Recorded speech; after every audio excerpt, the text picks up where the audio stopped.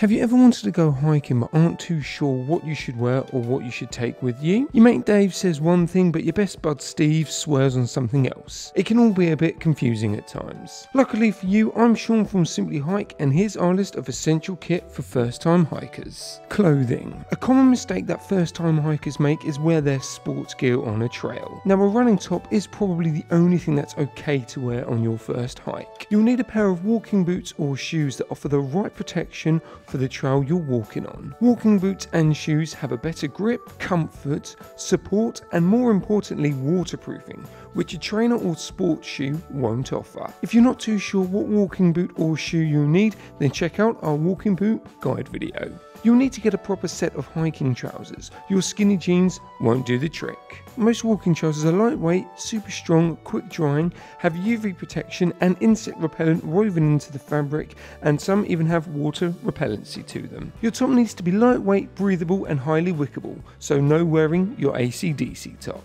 These types of t-shirts will keep you comfortable on the trails all day, whether it's cold or warm. Whether it's summer or winter, you'll need a mid-layer, well at least to begin with. In the summertime, look at getting a lightweight fleece, or as they're called, a hundredweight fleece. These types of fleeces will keep that morning chill off, but you won't overheat. In the winter, upgrade your fleece to a 200 weight fleece. It will do the same job as a 100 weight fleece, but because it's slightly thicker, it will keep you warmer for longer. And the last piece of clothing is, of course, a waterproof jacket.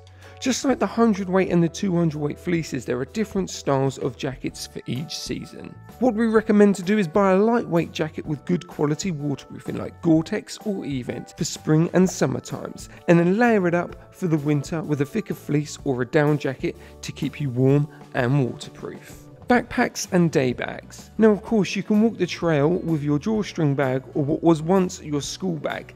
The only downside is that this wouldn't be very comfortable. Hiking backpacks and day bags come in all shapes and sizes with different features. From cuts specific for women, adjustable back panels, pre curved straps for extra comfort, and normally with a ton of pockets. And all these packs have been designed and tested on all types of trails and conditions. So if you want to enjoy your hike, we'd recommend trying on a few. I mean, you can always pop down to our shop in Faversham for a store fitting. Hydration. Keeping hydrated on the trail is vital, so make sure you are carrying water. If you're looking at taking hiking on a regular basis, then stay away from using normal bottled water. Over the past couple of years, bladders have become very popular, so much so that day packs now come with a special section dedicated to them.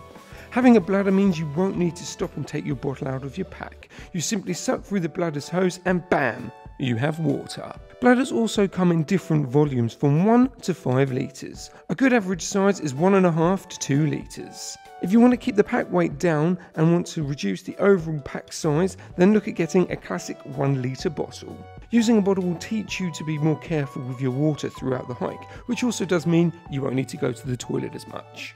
A handy add-on for water bottles is a filter, which you can use to fill up your bottle from a lake or river along your hike safely. And that means you won't need to use those tasty iodine tablets. Food. You will see every hiker brings his or her own style lunch. Some have the classic sandwiches and crisps, some just eat protein bars, or some just neck an energy drink. Being new to hiking, you won't know what will give you the right amount of energy, so try everything from protein bars, get your mum to make you egg sandwiches, Thanks for that, mum. You could even bring a stove and warm up some hydrated food or boil in the bag food.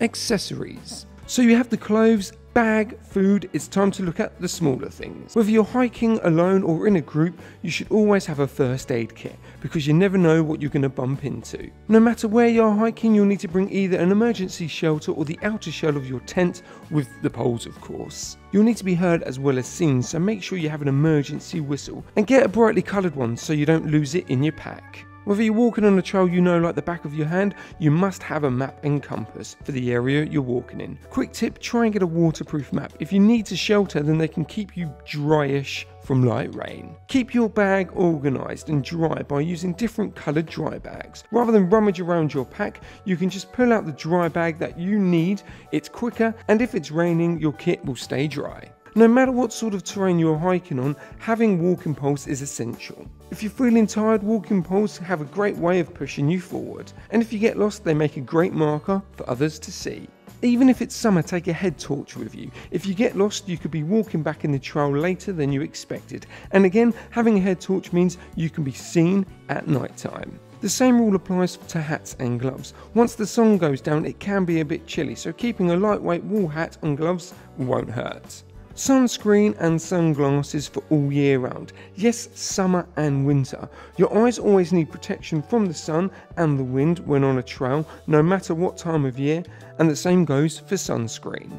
So there we have it, our essential kit list for first time hikers. Did we miss anything out? What do you take with you when you go hiking? Would love to know, so comment below. If you like this video, don't forget to like, share and subscribe and hit that bell to join the notification crew. Thanks for watching.